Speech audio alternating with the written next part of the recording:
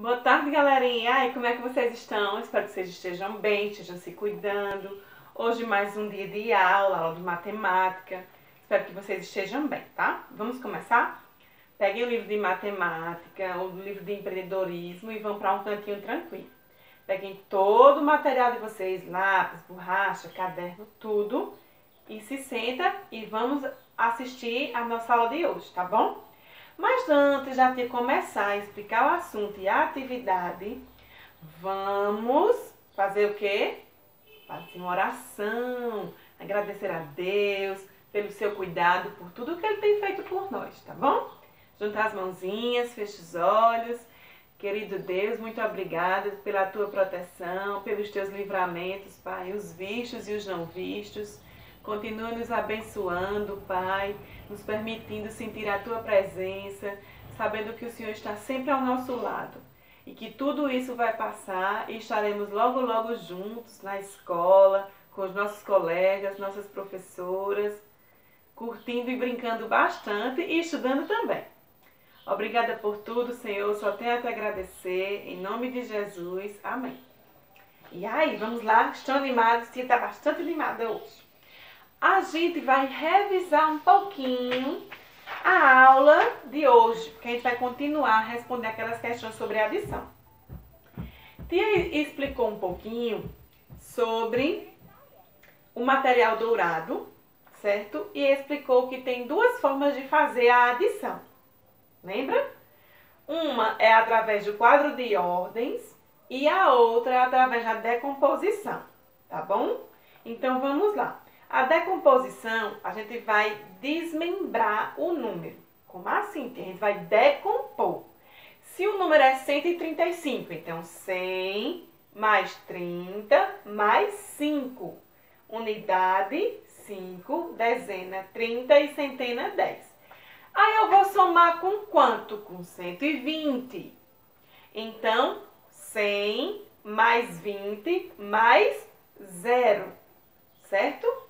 0 é a unidade, corresponde à unidade, 20 a dezena e 100 a centena. Passa o tracinho embaixo e soma, certo? E o resultado, vocês vão somar todos eles e colocar o igual e o resultado, certo? Então, se foi 135, 5 mais 0 é quanto? 5 unidades.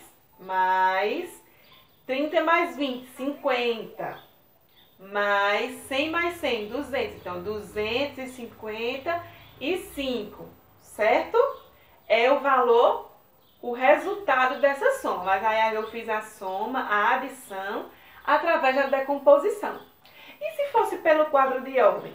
Coloca lá o de unidade, o D de dezena e o C de centena passa aquele tracinho, faz aquele quadrinho bem bonitinho e bota cada numeral correspondente a seu, à sua ordem.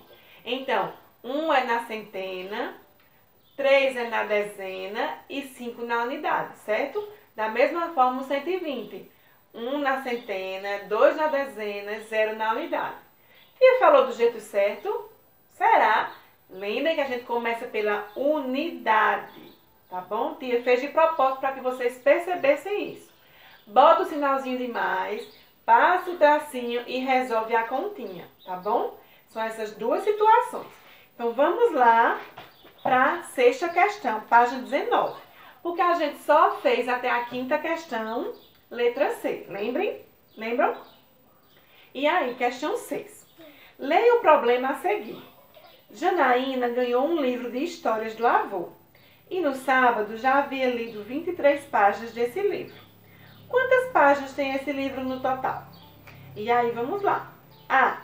É possível resolver esse problema com as informações apresentadas?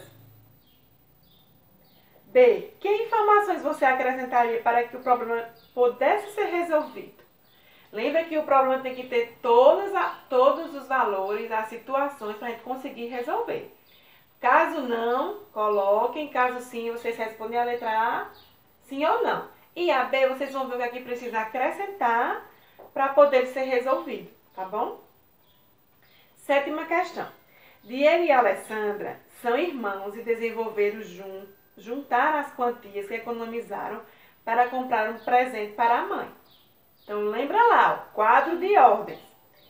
Eu tenho 24 reais e a Alessandra tem 30, 43 reais. Então quantos reais Diego e Alessandra terão para comprar esse presente? Então U de unidade, D de dezena, faz aquela tabelinha ou não, bota só o D e o U e arma a continha e resolve, tá bom? Próxima página, página 20, questão 8. No gráfico a seguir estão indicadas as quantidades de pessoas que assistiram a uma apresentação de dança em três dias de uma semana. Então aqui está a tabela, o público da apresentação da dança. Sexta-feira, sábado e domingo. Ah, preencha a tabela com as informações do gráfico. Então observem os gráficos, os dias da semana e botem quantas pessoas estavam em cada dia, certo? B. Quantas pessoas no total assistiram a apresentação na sexta-feira e no sábado? Lembrando, ou faz por decomposição ou faz pelo quadro de ordens, tá bom? Qualquer dúvida pode me perguntar, mas na página 14 até a página 16, antes da atividade, tem vários exemplos mostrando como é que faz através do quadro de ordens e como é que faz através da decomposição, certo? E aí, em seu caderno, aí, aí vocês vão fazer a letra C agora. Antes de chegar a C, tem assim, assistiram a essa apresentação, aí vocês colocam a resposta. C. Em seu caderno, crie uma pergunta. Então, pega lá o caderno, faz o cabeçalho, página 20, caderno de matemática. Muito bem. Então, crie em seu caderno uma pergunta, tendo como base os dados da tabela. Os dados é da tabela da questão 8. Depois, troque de caderno com o colega. A gente não tem como trocar esse caderno, tá? Para que ele responda a sua pergunta e para que você responda a que ele criou. Então, vocês vão fazer e vocês mesmos vão responder. A gente não tem como trocar caderno porque a gente não está na escola, tá? Então, está estudando de maneira remota. Então, vocês vão criar um probleminha, uma questão, usando como base a tabelinha que tem aqui em cima, certo? Usem da criatividade. E aí, após vocês fazerem o probleminha, vocês vão resolver. Resolve por meio do quadro de ordens ou da decomposição, tá bom? Próxima página, página 21. 9. Uma fábrica de brinquedos de madeira recebeu encomenda de carrinhos. Já foram fabricados 107 desses carrinhos e ainda faltam 251 para serem feitos. Quantos carrinhos de madeira foram encomendados? Lembra como vai resolver? Vou falar de novo. Ou pelo quadro de ordens ou por meio da decomposição dos numerais, certo? 107, 100 mais 0 mais 7. E aí, 251, 200 mais 50 mais 1. Passa o traço e resolve. Ou por meio do quadro de ordem, certo? unidade, dezena e centena. E aí, foram encomendados quantos? Aí vocês respondem aqui embaixo com o valor. 10. E última questão. Resolva as adições. Cada resultado encontrado corresponde a uma letra. Substitua os resultados pelas letras e complete o nome de um dos animais mais rápidos dos mares. E aqui tem os numerais, certo? Vocês vão fazer as continhas depois que resolver todas elas, são sete. Não, perdão, são oito. E aí, quando vocês responderem as oito continhas, no lugar onde tem o valor, você vai procurar o valor lá embaixo e vai substituir pela letra que está em vermelho em cima. A primeira deu quanto? Deu tanto. Então, esse valor tá onde? Aqui embaixo. Ah, tia, tá aqui. Né? Ah, achei o valor. Então, abaixo do valor, na tabela embaixo, vocês vão colocar o quê? A letra que está em vermelho em cima de cada continha. E aí vocês vão descobrir como é o nome desse animal, que é mais rápido, certo? E aí no livro de matemática, por aqui, já encerrou. Vamos pegar o livro de empreendedorismo e vamos nos divertir hoje um pouquinho, tá bom? De que forma, tia? A gente vai confeccionar um joguinho. Jogo compra ou não compra? Chama o papai, chama a mamãe, chama o vovô, chama a vovó, chama quem estiver aí com vocês para brincar com vocês e ajudar vocês a fazer. Primeiramente, A gente vai cortar tudo que tem aqui, ó. Os objetos, as moedas e o dado, tá bom? Após cortar os objetos, que em cada objeto tem o nome do objeto, o desenho e o valor, cortem as moedinhas. Depois de cortar as moedinhas, cortem o dado e montem o dado, certo? Essa partezinha branquinha que tem aqui é para dobrar, certo? Para vocês ir montando o dadinho. Compreenderam? Página 34 e 35 é só confeccionar o jogo. Galerinha, agora que a gente já cortou todas as pecinhas do jogo na página 34 e 35, vamos para a atividade, tá bom? Página 37. Pensando sobre o jogo. Então, vamos pensar um pouquinho. Questão 1. Desenhe o que você conseguiu comprar e as moedas que sobraram. Como vocês já brincaram, lembra da regrinha lá. Dois produtos para comprar e ver quanto vai sobrar de dinheirinho, tá certo? E aí, vocês, vocês vão e desenham os produtos. Moedas que sobraram. Aí vocês vão e desenham quantas moedas sobraram, tá bom? E aí, as perguntinhas. Quem ficou com maior quantidade de moedas no seu grupo?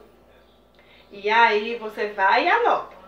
Quais produtos ele comprou e quantas moedas sobraram? Aí você vai e resiste, tá? São duas perguntas. Os produtos que ele comprou e as moedas que sobraram, tá bom? Agora vamos imaginar que Rafael e Marina estavam jogando compra ou não compra. 2. Rafaela tinha 10 reais no início do jogo. Lançou o dado e caiu assim, 6 reais. A. Desenho total em reais com que ela ficou. E aí ela ficou com quanto? Vamos lá agora. Letra B, página 38. Rafaela comprou os livros. Quais produtos ela pode comprar com o dinheiro que sobrou? E aí, tira o dinheiro que, que ela tinha, que tinha ficado, e aí vai ficar com quantos? O que, é que ela pode comprar? E aí vocês vão e desenham todas as moedinhas que ela tinha e marca o X tirando o que ela gastou, certo? Para ver quanto vai sobrar. A dica, faz o círculo e bota o numerozinho 1, porque aí a tia vai saber que, você, que vocês estão representando a moeda de um real, tá bom? 3. Mariana estava com 20 reais e ainda não tinha comprado nenhum produto. E agora? Circule dois produtos que ela deveria comprar para sobrar a maior quantidade de moedas possíveis. Então, vocês vão procurar dois produtos que tenham menor valor para que ela fique com mais dinheiro, ou seja, que sobre mais troco, tá bom? Por hoje é só. A atividade do livro, recapitulando, é da página 19 a 21, questão 6 a 10. E de empreendedorismo é da página 34 a página 38, tá? Espero que vocês tenham gostado da aula, foi muito bom estar com vocês. Lembrando, a dica da tia de hoje, façam a atividade, como são duas aulas hoje, e tem outros dias também que são duas aulas, vocês fazem a atividade de matemática no primeiro horário, pausa para o lanche, para o recreio e depois retorna fazendo a atividade de empreendedorismo. Porque assim vocês ficam mais tranquilos, fazem com calma, dá para vocês assistirem a aula completa, dá para vocês assistirem algum link que a tia colocar. No segundo horário, geralmente a tia coloca uma brincadeira, uma contação de história, uma música, algo para a gente fazer. E aí fica mais fácil de, de vocês fazerem no momento que a tia está fazendo. Ou seja, todo mundo faz no mesmo momento do que faz tudo de uma vez, aí não lancha na hora, vai lanchar depois. Aí aí fica no, no segundo horário que quer fazer alguma coisa, não pode. E às vezes, porque tem criança ainda, não tia, eu tô fazendo atividade, não tia, ainda vou começar, não tia, eu tô terminando, certo? Tia só quer ajudar vocês para que vocês façam a rotina como se vocês estivessem na escola, na sala de aula, tá bom? Fiquem com Deus, te amo muito vocês. Um grande beijo. Tchau, tchau.